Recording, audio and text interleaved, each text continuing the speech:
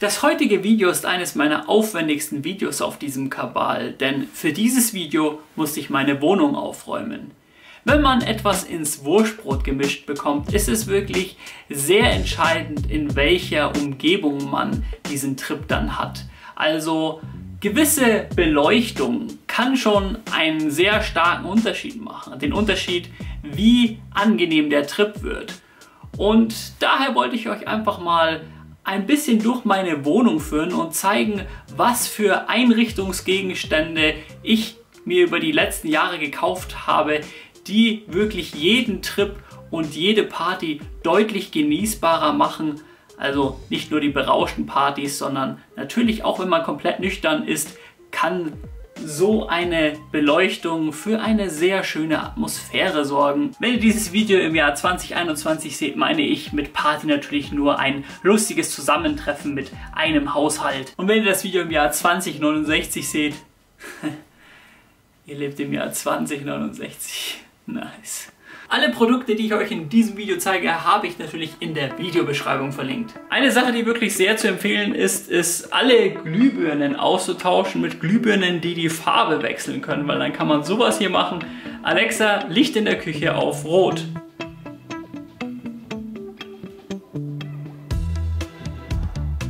Ja, mit so einem roten Licht hat man dann wirklich deutlich spacigere Vibes. Neben Glühbirnen, die die Farben wechseln können, sind natürlich Lichterketten, die die Farbe wechseln können, auch eine sehr, sehr geile Sache. Direkt hinter mir seht ihr die legendären Nano Leaves, die man auch schon von vielen YouTubern und Streamern kennt. Von allen Produkten, die ich heute vorstelle, ist das das Produkt, das am ehesten einen krassen Disco-Vibe erzeugen kann. Und ich blende euch jetzt hier mal Footage ein, wie das Ganze so aussehen kann.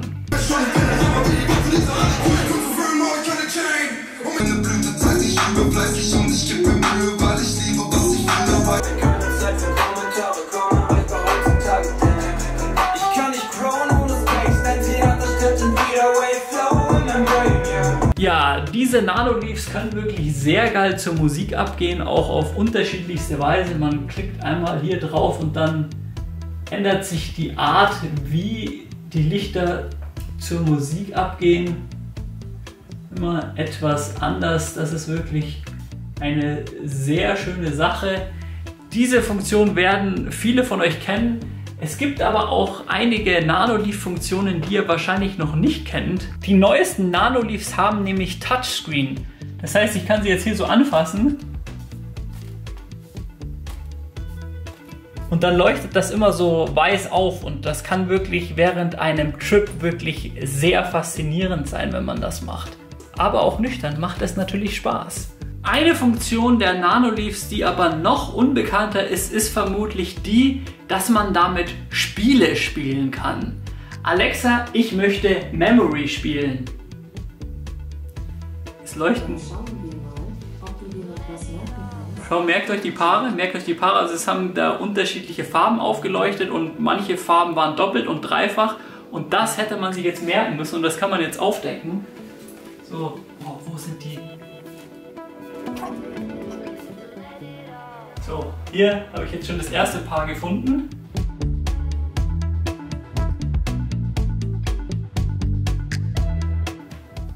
Hier orange. Ja, ich habe alle Paare. Ja, aber es gibt auch andere lustige Spiele, zum Beispiel Whack-a-Mole kann man auch spielen, das ist ein bisschen stressiger.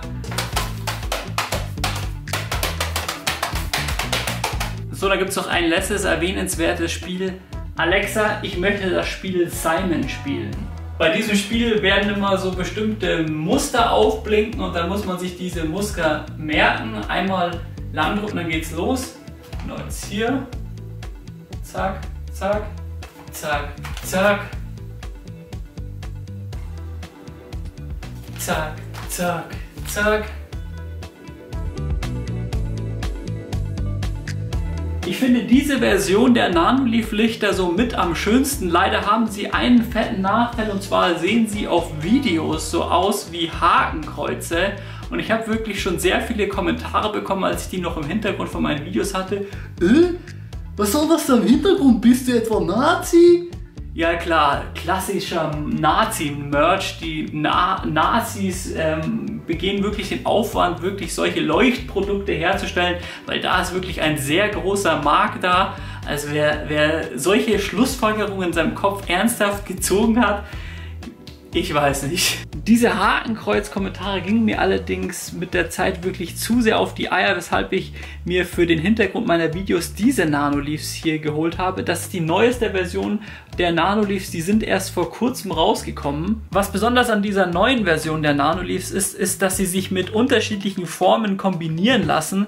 Außerdem werden sie extrem hell, also wirklich deutlich heller als die alten. So, ich habe jetzt alle Lichter ausgemacht, bis auf die Nano-Leaves und es leuchtet einfach nur ultra krass hell. Also ähm, ich denke, in den seltensten Fällen wird man es wirklich auf diese Helligkeit gestellt haben. Neben dem Preis, denn die Nano-Leaves sind wirklich auch verdammt teuer, haben die Nano-Leaves noch einen anderen dicken, fetten Nachteil und der ist, dass die Dinger wirklich sehr anfällig für Fehler sind. Ich musste insgesamt schon fünfmal solche Control Panels zurück zu Nanoleaf schicken, weil sie plötzlich nicht mehr funktioniert haben.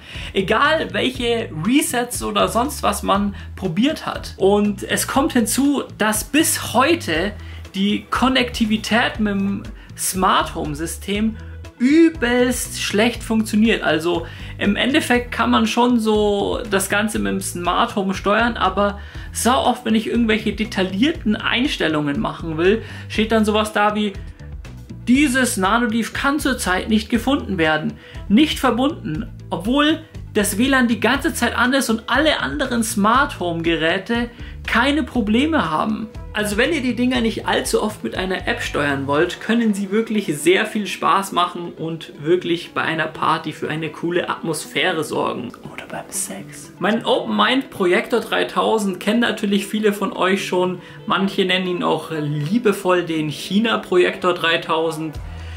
Natürlich kann ich den nicht auslassen in einer Liste von Dingen, die einfach geil sind bei Partys oder Trips. Da muss man auch sagen, dass hier die Smart Home Konnektivität deutlich besser ist als bei den Nano Leafs.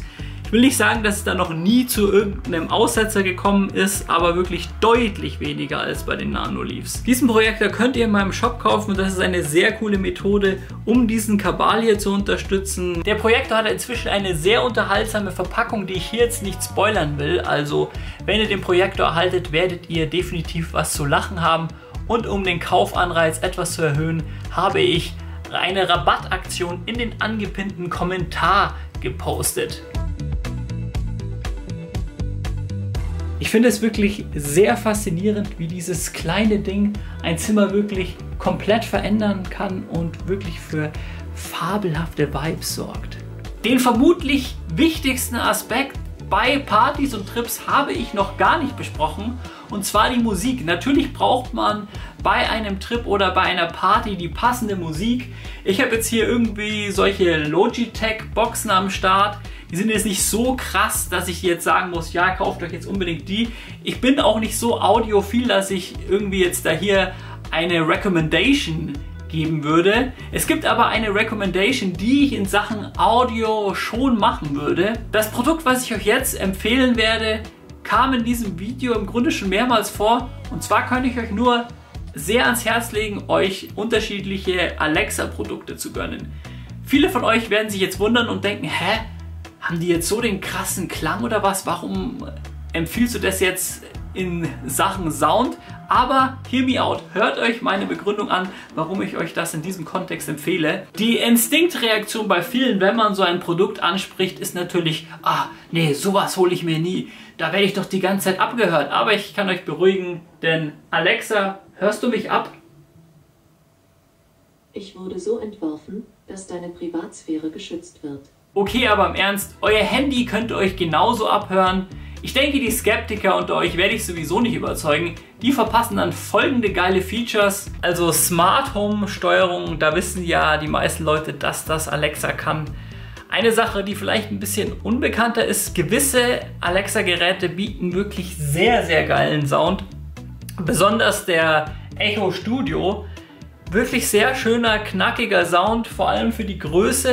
Ist jetzt nichts für Leute, die absolut auf die krasseste Lautstärke stehen. Also wenn man da voll aufdreht und so, ist es jetzt nicht so laut wie bei einer 5000 Watt Bass Machine. Sitze in der Bahn und fühl mich tausendmal cooler. Denn ich bin es, denn ich bin es, denn ich bin es, fühl mich cool. Also bei den meisten von euch sollte der Echo Studio in Sachen Klang keine Wünsche offen lassen. Man kann sich aber auch noch einen zweiten Echo Studio holen, damit man daraus ein Stereosystem macht. Preistechnisch ist man bei zwei Alexa Studio allerdings schon bei 400 Euro. Das ist schon ordentlich. Da bekommt man für den gleichen Preis, denke ich, auch schon Systeme mit deutlich besserer Klangqualität. Aber da kenne ich mich jetzt nicht allzu gut aus. Das ist auch nicht bei weitem der Grund, weshalb ich das System so feiere. Der Grund, weshalb ich das System am meisten feiere und es auch hier als Partysystem vorstelle, ist die Multi-Room-Funktion. Also die Funktion, dass man auf jedem Lautsprecher in der Wohnung das gleiche abspielen kann. Also wenn ich jetzt sage, Alexa, spiele Spotify überall. So, ich kann jetzt hier überall hingehen, egal in welchem Zimmer ich bin, überall kommt der Song. Also bevor ich dieses Multi-Room-System hatte, war es halt häufig so, dass ich am Trippen war und äh, im Wohnzimmer kam die Musik und dann bin ich vielleicht mal kurz rüber in die Küche gegangen, um nur, nur was zu holen.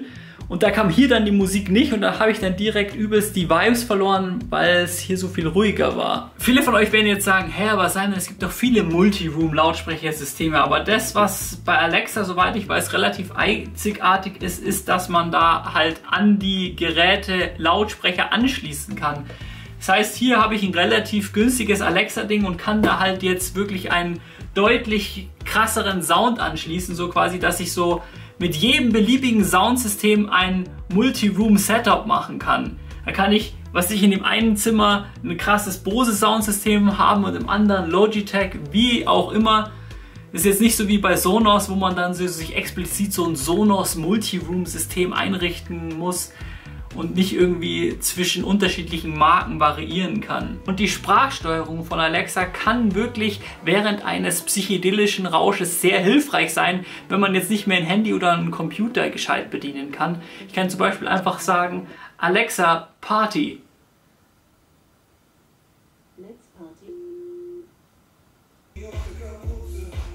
Und schon sind wir hier im Party-Modus. Die Leucht Beleuchtung wurde angepasst, die Musik ging an. Ach, und für die Leute, die bereits eine Alexa zu Hause haben und sich wundern, warum einige Befehle, die ich hier in diesem Video gebe, bei ihnen nicht funktionieren, das geht alles über die Routinenfunktion. Da kann man im Grunde alle beliebigen Befehle selbst einstellen. Auch eine sehr interessante Option in Sachen Sound sind solche Kopfhörer hier von Beatfox. Da kann man in Kombination mit so einer Funkstation eine richtige Kopfhörerparty machen. Also ähm, alle haben diese Kopfhörer auf und ähm, es hören die gleiche Musik. Ist vielleicht besonders interessant für Leute, die irgendwelche strengen Nachbarn haben, wo man ab 10 Uhr keine Musik mehr machen kann. Und das ist natürlich dann alles komplett Silent. Was an diesen Kopfhörern allerdings ultra nervt, ist, wie schnell da der Akku leer geht. Bei der Produktbeschreibung steht, dass der Akku irgendwie 8 bis 12 Stunden hält. Teilweise hält er nur 2 Stunden. Keine Ahnung, ob, ich, ob alle drei Kopfhörer, die ich gekauft habe, irgendwie defekt sind. Bei mir halten die aber wirklich nur sehr kurz. Aber ansonsten vielleicht eine interessante Überlegung für den einen oder anderen. In meiner Küche gibt es hier neben einem weiteren Nanoleaf einen weiteren sehr coolen Einrichtungsgegenstand bzw. Gegenstände und zwar Pappen. Also die Dinger, die sonst mit LSD beträufelt sind. Also da auf, auf diese Pappen tut man LSD drauf, für die, die sich da jetzt nicht so auskennen. Ähm, die sind natürlich komplett ohne irgendwelche Substanzen drauf. Wäre völlig bescheuert, sich das einfach hier hinzuhängen. Und an dieser Stelle äh, dickes Dank an den Trip-Dealer. Also der hat mir diese ganzen Dinger kostenlos geschickt, dass ich sie hier auch in dem Video zeigen kann. Und ich wollte die auch sowieso mir holen. Also checkt ihn auf jeden Fall in der Videobeschreibung ab. Aber ich möchte hier nochmal betonen, das ist wirklich völlig legal. Da ist keine Substanz drauf, sondern das sind eben nur die Dinger, wo man äh, sonst die Substanzen drauf tut, aber es ist wirklich nur komplett normale Pappe. Das hier ist mein Lieblingsmotiv, da bekomme ich immer einen harten, wenn ich das anschaue. Das ein oder andere Gesellschaftsspiel am Start zu haben, ist natürlich auch immer eine sehr tolle Sache während einer Party oder einem Rausch. Dazu mache ich aber nochmal ein separates Video, wo ich euch vorstelle, welche Spiele hier am ehesten geeignet sind, besonders in einem Party-Setting. Aber vielleicht könnt ihr da schon mal eure Vorschläge in die Kommentare schreiben. Für dieses Video habe ich euch auch gefragt, was eure besten Einrichtungstipps für Trips und Partys sind. Und eine der häufigsten Antworten war Pflanzen. Also gönnt euch Pflanzen. Ich habe mir sogar diese Pflanze extra für dieses Video gekauft online bestellt. Ja, man kann Pflanzen auch online bestellen. Eine Empfehlung aus der Community war auch künstlicher Efeu. Das habe ich hier mal so ausgetestet. Könnt ihr ja selbst beurteilen, ob ihr sowas haben wollen würdet. So einen Aromaversprüher habe ich mir auch vor einiger Zeit gekauft, weil ich mir dachte, das könnte während dem Trip richtig geil sein, wenn man plötzlich was Interessantes riechen will. Aber ich muss sagen, das ist wirklich nie im Einsatz, also das müsst ihr euch jetzt nicht holen. Also ihr müsst euch gar nichts holen, aber das erst recht nicht. Diese Dinge erinnern natürlich sehr an die Nanoleafs, die ich vorher gezeigt habe. Natürlich sind die deutlich kleiner und deutlich billiger, aber man kann sie sogar auch mit Touchscreen bedienen und die sind sogar äußerst responsive. Ich würde sogar sagen, dass sie besser reagieren als die teuren Nanoleafs. Aber abgesehen von der Größe muss man hier auch Abstriche machen in der Smart-Funktion. Also die sind 0,0 smart und können auch nicht zur Musik abgehen, sondern entweder einfarbig leuchten oder äh, so durchswitchen zwischen den unterschiedlichen Farben. Es gibt theoretisch schon welche mit Smart Home Funktion, aber die App und alles funktioniert extrem schlecht. Da muss man eine richtig weirde App runterladen. Wenn es da mal eine bessere Alternative gibt, werde ich die in meinem Shop anbieten. Also hier vielleicht noch ein bisschen warten auf solche Dinge bis ich die geil in meinen Shop packe. Auf einer Party wird es ja auch häufig sehr dreckig. Da kann ein Staubsaugerroboter sehr die Arbeit erleichtern. Es gibt auch hier wieder coole Befehle, mit denen man ihn aktivieren kann. Alexa, Staubsaugen. Ja, ich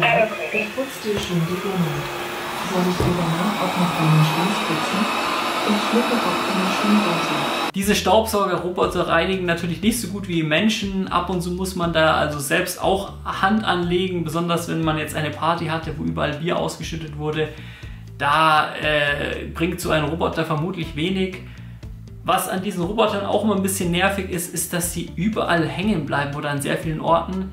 Ich habe mir sogar extra so einen geholt, wo man so eine gewisse Zone einzeichnen kann, dass sie dann eventuell nicht an die Stellen hinfahren, wo sie immer hängen bleiben, aber das bringt irgendwie auch nichts, weil der irgendwie ständig vergisst, in welchem Raum er ist und dann muss ich eigentlich bei jedem Reinigungsvorgang neu einzeichnen, wo er nicht hinfahren darf und die App ist überhaupt nicht bis der Schrott. Eine Sache, die man auf keinen Fall unterschätzen sollte, sind Vorhänge. Ich habe mir jetzt hier so trippy Sternenvorhänge gekauft, aber auch unabhängig von eurem Motiv solltet ihr auf jeden Fall etwas haben, wo ihr euren Raum vor Sonnenlicht schützen könnt. Denn wenn ihr noch so am Druffen seid und dann kommt schon das erste Sonnenlicht rein, das kann einfach nur übelst stören und den kompletten Vibe kaputt machen. Und ich habe hier sogar äh, einen doppelten Schutz. Äh, hier ist nämlich noch ein Rollo und eine Sache, die sehr cool ist, ist es auch ein Smart Rollo. Also ich kann jetzt hier sagen, Alexa, lass mich pennen. Dann geht das Licht aus und dieser Rollo fährt runter. Wenn man eine Party macht, ist es natürlich sehr von Vorteil, wenn man unterschiedliche Schlafmöglichkeiten für die Gäste zur Verfügung hat. Zum einen natürlich eine Couch, die ist meistens vorhanden, aber ich habe auch immer für Gäste hier ein aufblasbares Luftbett, wo sie drauf schlafen können. Und wo wir gerade schon bei Schlafgelegenheiten sind. Im Open Mind Shop gibt es jetzt seit kurzem dieses geile Acid Monster Kissen. Ich muss sagen, das ist wirklich ultra bequem und es ist kein Scherz. Das ist eigentlich das Kissen für die Couch, aber ich hole es fast jede Nacht rüber ins Bett, damit ich mit diesem Kissen schlafen kann. Ah. Ich wohne in einer bescheidenen 55 Quadratmeter Wohnung. Irgendwann, wenn ich in einer größeren Wohnung wohne, werde ich hier nochmal ein Update-Video machen, wo ich bestimmt eine noch spektakulärere Einrichtung zum Trippen erbaut habe. Ich kann euch natürlich nur wärmstens empfehlen, euch was im Open Mind Shop zu gönnen. Da gibt es nicht nur den Epic Open Mind Projector 3000 oder dieses sehr bequeme Kissen. Es gibt vielen weiteren nicen Scheiß, viele geile neue Merch-Designs. Der Shop wurde auch komplett renoviert, das heißt, es ist eine deutlich geilere Einkaufserfahrung. Organisatorisch haben wir da auch einiges verbessert, sodass bereits wenige Sekunden nach der Bestellung die Lieferung bei euch zu Hause ankommt. Okay, ganz so krass noch nicht, aber ein bis drei Tage braucht es in der Regel, bis die Lieferung zuverlässig zu euch nach Hause geliefert wird. Durch einen Kauf supportet ihr diesen Kabal, ihr supportet dadurch aber auch euch, dadurch, dass ihr euch was Geiles gönnt und euer Leben dadurch deutlich geiler macht durch ein geiles Produkt im Open Mind Shop. Abonniert diesen Kabal. Bis zum nächsten Mal. Peace.